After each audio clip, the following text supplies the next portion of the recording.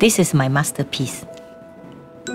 When I look at this painting, it reminds me of my childhood day in Malaysia, where I saw a lot of uh, people every morning bargaining prices, buying and selling fishes, vegetables, and so on. And you look at the little goat, it is like a, a real marketplace to me.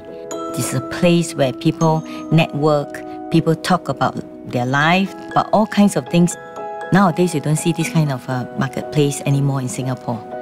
The salted fish also reminds me of the time when I was first came to Singapore. I was actually living in a place that is on top of a salted fish market. I could still remember the smell on my school uniform. So this painting really reminds me of my school days, childhood day. It's very meaningful. It's about life.